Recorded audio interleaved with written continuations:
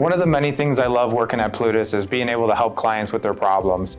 You know, physicians come to us, surgery centers, ABA organizations, um, primary care doctors with very complex billing problems. I love that we are changing healthcare um, by introducing AI and new technology. Um, not only do we see it from a perspective of the US, but we also see it from the perspective of globally. I feel very personal.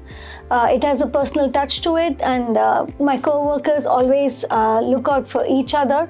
So Plutus Health is a revenue cycle management company, uh, and we have been uh, working with our customers to impact their revenue the most, right? So um, in, in, a typical healthcare uh, situation, um, you know, providers send out claims to insurance companies, and insurance companies take their time to pay those claims.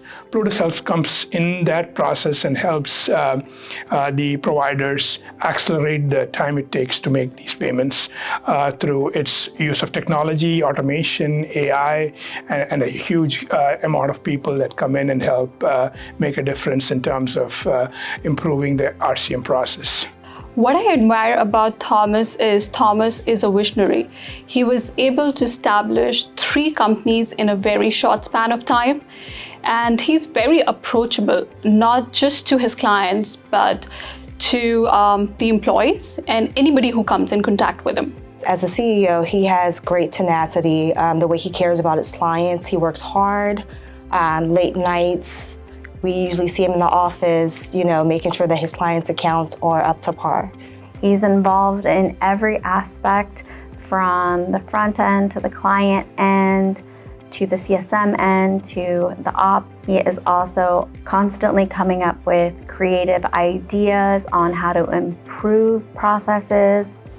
He is able to uh, make uh, the visions into reality and um, he's far advanced um, in his visions uh, with regards to technology when it comes to enterprise planning.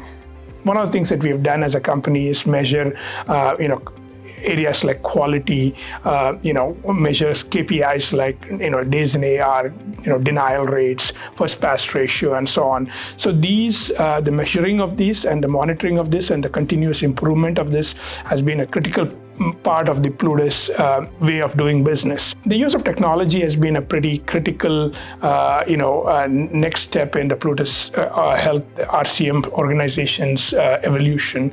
a few years back, a mid-sized ABA therapy company called me late evening and said, "Listen, I'm about to shut down my ABA therapy company. We have 100 plus kids that we provide therapy to, and I would have to shut this business down if in the next 30 days I cannot collect money." So Plutus took over the challenge right away my team got into the act. We started resolving those issues. Uh, I'm proud to say that this practice has tripled their size and growing even further, and we're able to handle uh, the, the, the needs of therapy for a number of kids in their market. So that is a kind of story that makes a difference for us uh, in terms of why we are in business, what we do for our clients, and how it impacts uh, not only our clients, the patients they serve, and the communities that they serve.